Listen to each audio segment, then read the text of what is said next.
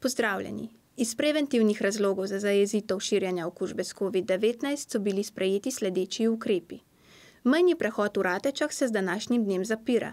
Mejni prehod Korensko sedlo je prehoden med peto uro zjutraj in triindvajseto uro zvečer. Zaprta je tudi kolesarska steza med Ratečami in Italijo. Zobozdravstvena služba v Kranjski Gori do nadaljnjega ne deluje.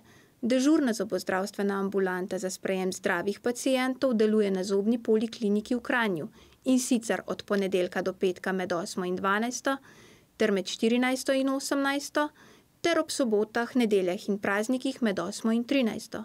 Dežurna zobozdravstvena ambulanta za sprejem pacientov z znaki akutne respiratorne okužbe deluje na Osnovni šoli Staneta Žagarja v Kranju, in sicer od ponedeljka do petka med osmo in dvanajsto ter v sobotah, nedeljah in praznikih med osmo in dvanajsto. Trenutne razmere in povečana možnost okužbe s koronavirusom na vsakem koraku nam nalagajo, da ostajamo doma, vendar nihče ne sme ostati brez pomoči in osnovnih življenjskih potrebščin. Da vam ne bi bilo treba zapustiti varnega doma, se je ekipa trgovine Jezerci odločila, da bo po dogovoru omogočila dostavo kupljenih živil na dom. Za naročila in več informacij pokličite Dragico Pintar na telefonsko številko nič štiri ena tri ena ena osem tri nič. Naročeno blago vam bodo po dogovoru dostavili na dom. Pomembno je, da v teh kriznih časih podpremo naše lokalne ponudnike z nakupom lokalnih izdelkov.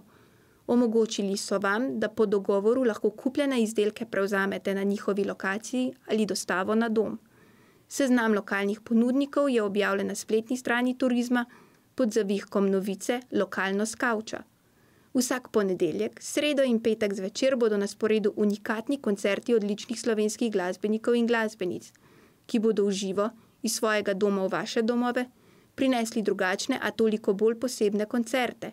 Poimenovani so Koncerti s kavča. Prvi v seriji koncertov bo na sporedu že jutri v petek, dvajsetega tretjega ob dvajset petnajst. Koncerte boste lahko v živo spremljali na Facebook in Youtube kanalu Turizma Kranjska Gora ter na ATM TV.